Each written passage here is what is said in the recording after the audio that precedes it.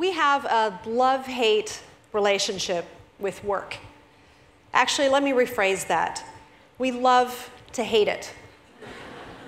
It doesn't matter who you talk to or where you go, the story is always the same, and you've probably told it yourself.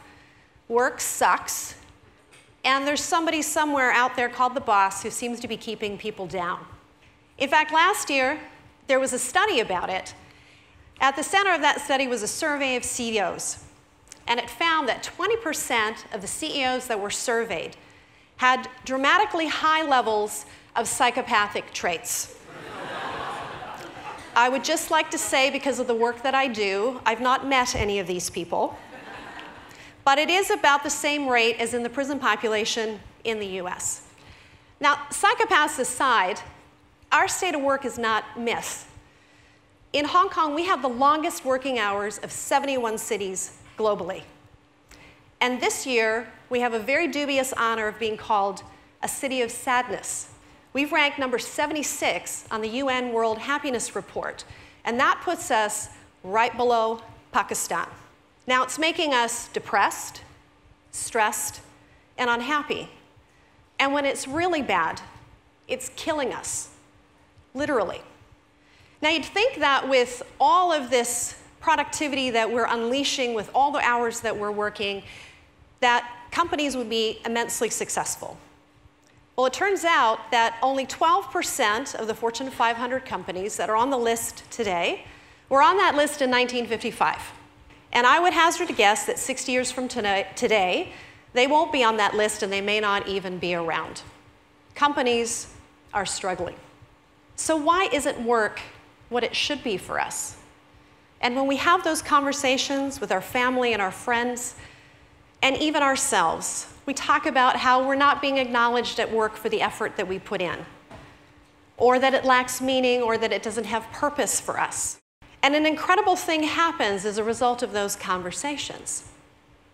Every morning we get up, we have a bite to eat, we get dressed, and sometime before we leave for the office, we leave a big part of ourselves behind. It's mostly unconscious, but that part of you that's unique and personal and intimate and special and extraordinary gets left at home. Instead, a really good version of you, the walking, talking, professional kind, heads into the office. Think of it as your avatar, or as my kids like to say, your Bitmoji. This is not a behavior that's to a certain group of people. We all exhibit it and we all behave that way, regardless of culture and regardless of country.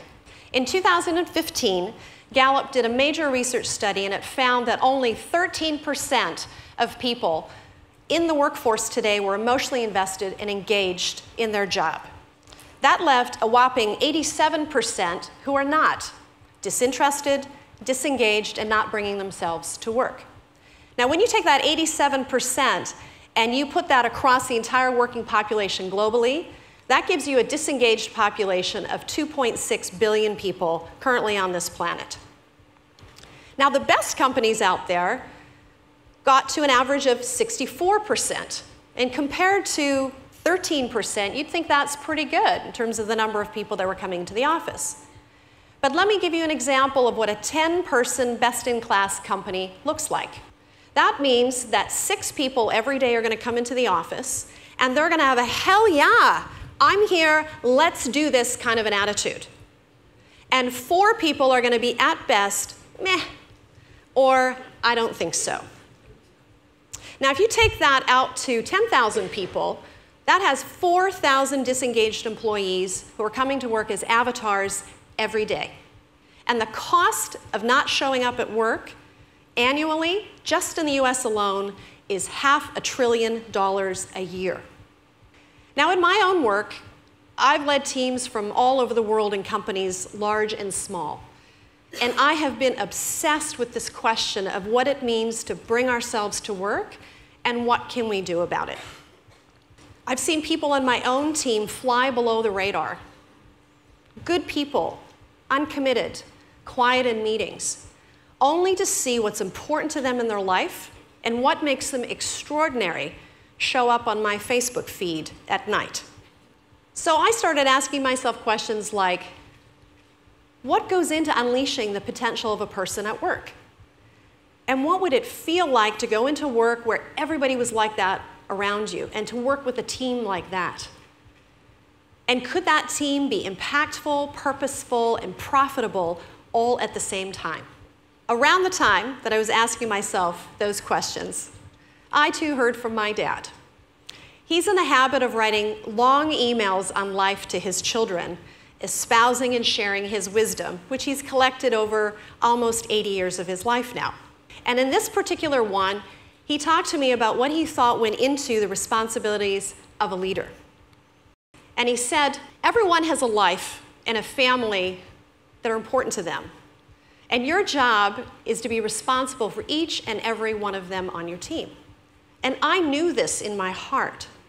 But every day, the kinds of conversations I was involved in and discussions with other leaders were about how do you make things more efficient? How do we make things productive or profitable? And nowhere in there were conversations about people and how would they find meaning. But when I had conversations with those leaders individually, and we talked about what kept them up at night or what made them happy, a real person emerged. So I've come to the conclusion over the years of asking this question of how do we bring our full selves to work, that the problem isn't people. The problem is that modern work is not fit for humans. Now, our current model of work is stuck in the past. In the 18th century, during the Industrial Revolution, we made a quantum leap of mechanizing operations. And in the process, we scaled human effort like never before. This was exactly the same time period where we coined the phrase human resources. And it means very specifically the count and the cost of human beings who oversee the machines. Now, when you add management into that, you now have a layer of people who are overseeing a layer of people who are overseeing the machines. And that kind of complexity made companies put in administration, organizational structures, processes, systems, policies, all to make things work smoothly. And I would say that if we were still in the 18th century, that would be a bang up winning strategy for success. But we're not. We're in a time period where work is being disrupted across every single industry that we know, and it's disrupting us in the process. But what if work was different? What if you turned on human emotion at work? What would that feel like? People would come alive. They would share, they would care, they would innovate, they would collaborate, they would make things for others, and in all of that, we would thrive. And imagine if human feeling was in abundance at work, and you designed everything about work to make work awesome. Instead of human resources teams, you'd create happiness teams. And they would be dedicated to the well being of everybody on that team all the time. We would share with each other, we would care about one another, and it would be infectious. It would scale to our customers and it would make our companies thrive. Imagine if you were on such a team, and imagine the leader that you would have as part of that team a leader who would build trust with you, faith. You would follow them. And you would know that they were creating a space for you, for your full self, to come to work every single day. And imagine the feeling of what it would like to report into those fine folks. Now, I'm not talking about a utopia here. There are amazing companies all over the world that are busting out of this old model and they are creating new ones that are fit for human beings. Take Netflix, for example. They are infamous for a culture of openness with their people. They do away with formal policies on simple things, even as vacation leave, because they believe if you hire fully formed adults, they'll know what to do, they'll be responsible about it, and they'll just get the job done. There's a great company in New York called NextJump. NextJump has two businesses. Business number one is a profit making business where they have an e commerce platform, and they're famous for having a no firing policy. Business number two is their not for profit leadership academy. They share everything about the success of their company with leaders from other companies. Everything from their culture to how they deliberately develop their people to how they mentor and how they coach is freely offered up. And they are scaling themselves and scaling other companies, and they are in service of those companies. We're at a time where everything is changing at an exponential rate. And we're heading into a future that we can't quite predict. You don't have time to have avatars on your teams. You need 100% of 100% of your people to innovate and to be competitive and to make your future as a business. It's our responsibility in that future to lead with our humanity out front. So here's my ask of you. Tomorrow, when you go to work, show up. Be the real you. Share with everybody who you know what makes you. And be specific about it. What are you good at? What motivates you? How do you work? Where do you draw courage from? What are your strengths and where might you need help? Think of it as your user manual on how to operate you.